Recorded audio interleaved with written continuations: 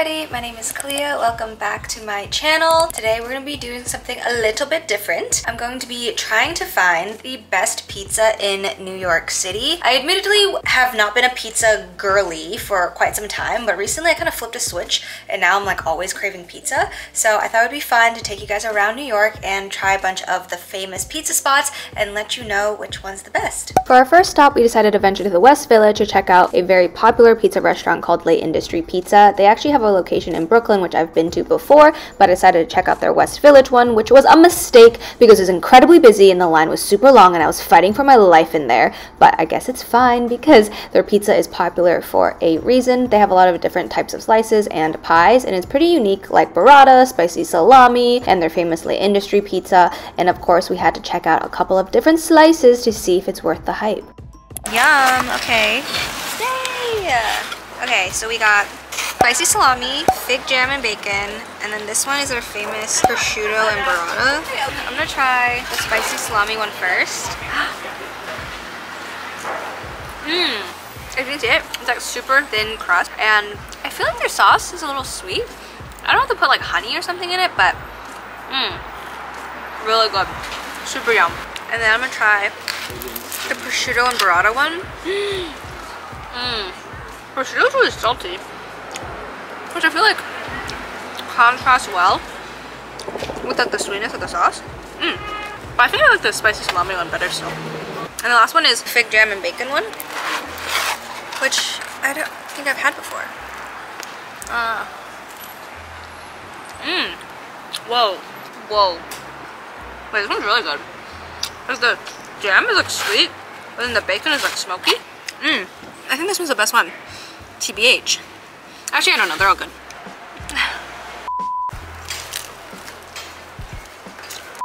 We just scarfed down our three slices of L'Industrie pizza. I would definitely rank them. Number three was the L'Industrie slice with the prosciutto and burrata. I feel like it was just kind of like hard to eat and it didn't really like mesh well together.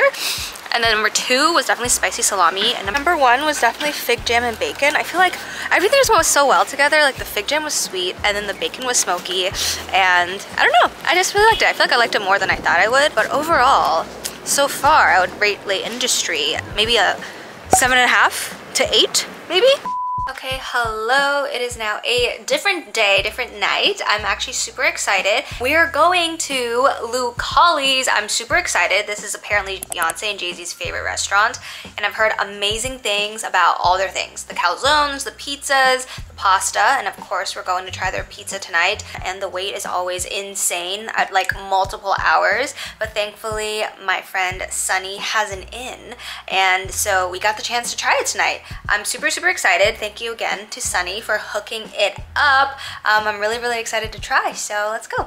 And so we made our way over to Lucali, which is located in Carroll Gardens in Brooklyn, which is a trek out, but there's always still a super long line because they don't take reservations. The restaurant itself is super cozy inside and can sit around 30 people, and it's also BYOB, which I feel like could be fun if you like to split a bottle with your friends. But once we were actually in the restaurant, the first thing that we ordered was the spicy pasta, which honestly stole the show for me. It was so freaking good. It wasn't too spicy. The pasta was like perfectly cooked. I don't know. I just really, really liked it. And then the next thing that we got, of course, was the pizza. And they don't do it by the slice. You have to get a whole pie, but it was super, super good. Pretty saucy, and the crust was not super hard, um, but I feel like it was a good vehicle for everything. And we also got the calzone, which some say they actually like better than the regular pizza, but it was super, super ooey, gooey, cheesy. Okay, hello. My official review. Unfortunately, I'm partial to pasta always. The pasta was so good. We actually ordered it twice. I actually really like the pizza. We got the mushroom and the garlic, and I love mushroom, especially on pizza. So that was some too, and the calzone. But that's my official ranking. 10 out of 10. No notes. Thank you, Sunny. Thank you, Mark. And the third place we went to was Joe's Pizza, which I feel like is a quintessential New York City pizza spot. Like a bunch of famous people have come here. It's been featured in movies and it's extremely popular. And so, of course, I went to go check it out. It's pretty no frills. They have all of the basic types of slices, and it's just like a quick grab and go place if you just want a random slice on a random night. Don't come for my name because, to be honest, I feel like their pizza is pretty mid. I was not impressed in any way. Like, it's just a regular slice of pizza It's nothing to write home about, but I will say their crust is like pretty thin, which is what they're known for. But for some reason, for me, it just was not hitting. But I mean, regardless of my own personal opinion, you cannot deny that Joe's Pizza is honestly a vibe, and if you're in New York, it's worth checking out. And last but certainly not least is Little Italy Pizza number three, which is not very renowned. It's just a random neighborhood spot that we like to go to. But honestly, dare I say, my favorite place out of all the places that we went to. Like honestly, this buffalo chicken slice, amazing, incredible. And I was a little bit skeptical before I tried it. I thought it was just gonna be regular or mid, but honestly, it's not. And I think the secret is their crust. They have breadcrumbs on the bottom, which just has this amazing texture and their flavors. I don't even know. Hello, we are out here at Norman's favorite pizza spot. A hidden gem. He claims it's the best pizza spot in the city, better than any of the places we've tried. So it's true. I literally got one slice of mushroom pizza just because I was hungry, but then it literally freaking slapped so hard that I was like, I immediately need another one.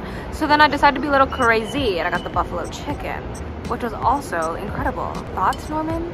Agreed. No, it was so good. I think of like the crust, Norman says has like breadcrumbs, so like the texture is so good. And I don't know, I feel like they just do something that like, it's, every slice is so flavorful, don't you think? Mm-hmm. Dude, this place is being slept on. Little Italy Pizza I don't know if one or two are as good, but probably. But number three, check it out. Hidden gem, hidden gem. All right, official review of Little Italy Pizza number three. No, I was just saying, like, it comes out perfect. Okay. It's crunchy and crispy, but you can still fold it. It's not too hard. Also, the bottom, there's like texture on it because of the breadcrumbs. So you get a little nice little texture on the tongue when you like bite into that thing. It's just a, it's just a good slice. It's a also, like the slice. the sauce and the cheese are like pretty flavorful too. Bro, so, so good. it's not just crust. Bro, they tucked some of the buffalo chicken under the cheese, and I was like, that's genius. Yeah, there was buffalo sauce in like every bite. It was great. Yes. Oh my gosh, incredible. 10 out of 10 recommendation, Norman. Yeah. And of course, I only got to hit up four places this time around, which is by no means an exhaustive list of the places in the city. But hopefully, this will be a great starting point for your list if you ever come visit. But if there's any place I should definitely hit up, let me know. But with that, that is it. Thank you so much for watching. Please make sure to like, comment, and subscribe, and I will catch you for the next one.